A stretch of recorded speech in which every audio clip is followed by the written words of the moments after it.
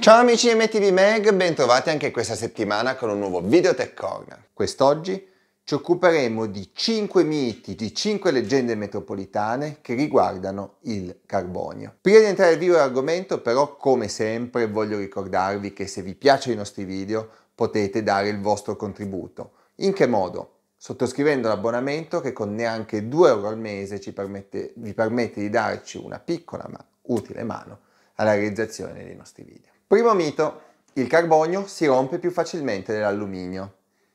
Non è vero, il carbonio ha una resistenza meccanica tre volte superiore a quella dell'acciaio ed è quindi molto molto più resistente dell'alluminio, che di per sé le leghe di alluminio non sono dei materiali con particolari caratteristiche meccaniche, sono solo leggeri. Se noi sottoponiamo un telaio in fibra di carbonio ad un test di rottura, scopriremo che nonostante sia più leggero, resiste ad un carico mediamente tre volte superiore rispetto allo stesso telaio in lega d'alluminio.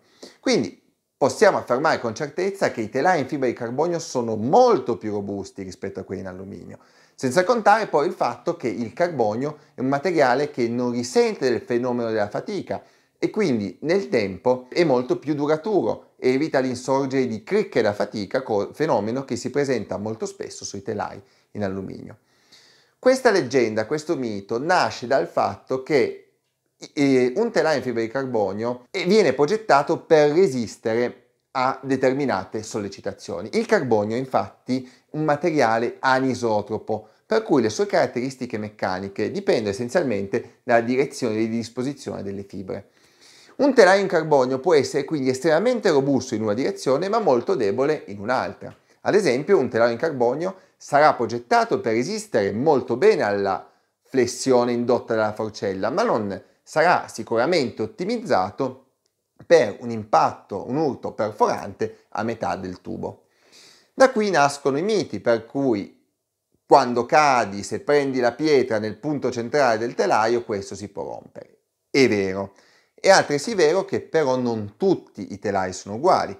I telai leggeri vengono realizzati in questo modo, col giusto il materiale appena necessario per resistere alle sollecitazioni tipiche dell'utilizzo. Ma telai più greviti, telai orientati a discipline più discesistiche, hanno degli adeguati rinforzi nei punti critici, che possono essere fogli di Kevlar che vanno a proteggere le fibre, o le più semplici protezioni in gomma, ma il modo migliore per proteggere il telaio è quello in carbonio è quello di pellicolarlo. Basta una piccola pellicola che distribuisce l'impatto sulla superficie più ampia e il rischio di danneggiarlo si riduce drasticamente. Secondo mito, le ruote in carbonio sono più leggere di quelle in alluminio. Le ruote in carbonio cosiddette sono di fatto delle ruote normalissime, con la differenza che hanno il cerchio in carbonio ma nipples, raggi, mozzo sono gli stessi identici di una normalissima ruota in alluminio. A livello di peso, quindi, il fatto che il cerchio possa pesare qualche grammo in meno non incide tantissimo nel, sul peso complessivo del sette ruote. Quello che determina una ruota leggera è il complesso dei suoi elementi. La differenza tra una ruota in alluminio e una ruota in carbonio è essenzialmente nelle prestazioni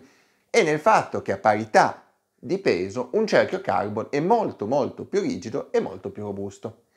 Questa maggior rigidità è proprio il punto chiave, quello che rende la ruota carbon più reattiva, più nervosa. Infatti una ruota in carbonio è molto più rapida nei cambi di velocità, perché il cerchio rigido trasmette meglio la potenza dal, dai pedali, dalle gambe al terreno. Ma anche sui cambi di direzione, il fatto di avere una ruota che non flette permette di avere una guida più precisa, anche talvolta più reattiva. Per quanto riguarda il peso, ad essere onesti, bisogna dire che un cerchio carbon è talvolta un pochettino più leggero di un cerchio in alluminio, soprattutto a parità di caratteristiche in termini di robustezza.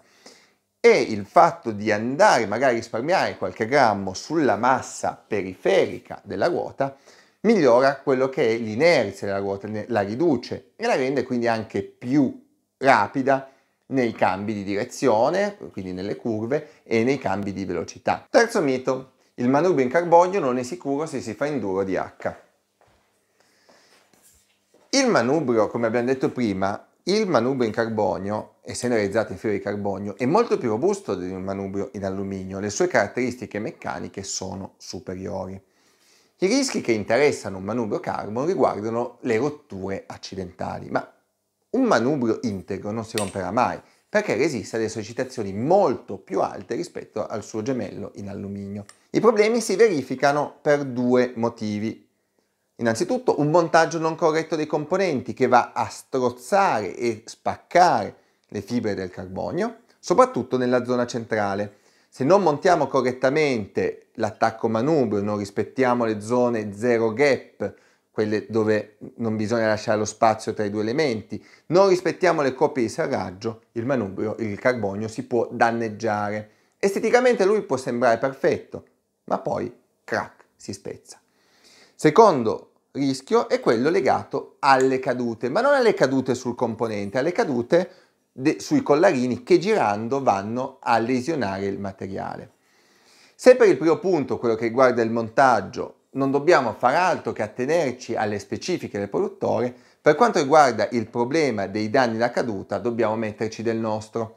Dobbiamo verificare dopo una caduta importante se il manubrio è danneggiato andando a rimuovere la manopola eventualmente i collarini ed ispezionando con attenzione il componente. Con questa piccola accortezza potremo utilizzare in totale sicurezza il nostro manubrio in carbonio, senza il rischio di rotture. Quarto mito, il carbonio non si può riparare. Questo non è assolutamente vero, il carbonio si può riparare. E come? Vengono riparate le fusoliere degli aerei, vengono riparate le ali degli aerei. Il problema è dove si presenta la rottura perché non tutte le rotture sono riparabili sul carbonio. Quindi una riparazione può, non può di per sé ripristinare la continuità delle fibre, ma tramite fasciatura si può andare a rivestire l'elemento danneggiato ripristinandone la resistenza meccanica. Magari non otterremo lo stesso risultato del componente perfettamente integro, ma potremo comunque ottenere un elemento strutturalmente solido e robusto. L'alluminio invece di per sé non si può riparare, è un materiale difficile da saldare e se ad esempio si presenta una crepa e noi semplicemente la saldiamo, quel telaio avrà sicuramente vita breve e si romperà facilmente perché oltre alla saldatura dovremo apporre dei fazzoletti di rinforzo, dei, robustimenti e dovremo comunque sottoporre il materiale ad un trattamento termico. Quinto mito, il carbonio è solo per i pro. Ragazzi, non sapete quanti qui in negozio vengono, eh ma per me il carbonio non serve, io non sono un professionista. Il carbonio è un materiale sicuramente più nobile, anche più costoso, certamente, ma non è assolutamente vero che il carbonio è solo per chi ne fa un uso racing. Anzi, è vero che tutti i prodotti racing sono realizzati in carbonio perché è un materiale più leggero, perché permette di avere un componente più rigido, più robusto, più reattivo, più performante in ambito gara, ma il carbonio può essere utilizzato anche per realizzare componenti e telai morbidi, comodi, perché una caratteristica della fibra di carbonio è proprio quella di assorbire le vibrazioni. Un telaio in carbonio non è solo più leggero, ma assorbe meglio le vibrazioni, dà una sensazione di guida più ovattata e questo non serve al pro, questo serve più che altro al weekend warrior.